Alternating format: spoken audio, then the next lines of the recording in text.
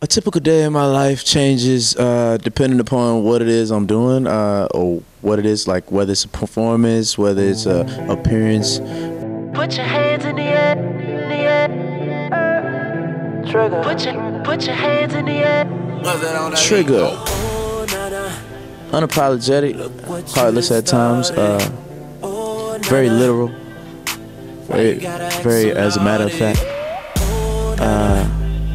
Uh, playboy, you know, fun gotta be around. Intoxicated a lot, smiling a lot, happy a lot, lustful. Uh, cool nigga 101. Keep your hands in the air if you're spending the night. Na na na, na na na. Nana has been able to benefit my career in so many ways. Uh, it's the first single off the, the album Trigga. It kind of gave people a, a glimpse into what the album would be like without, you know, giving them a full look. I think when people first heard the song, they didn't know which direction I was going because it has a club feel, but it's still sensual and sexy. And then the video kind of was another, uh, you know, head turner.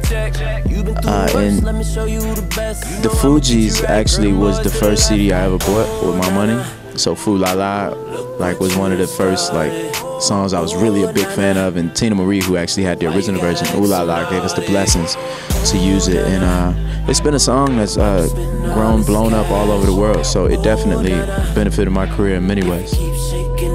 Oh, na. Put your hands in the air if you're loving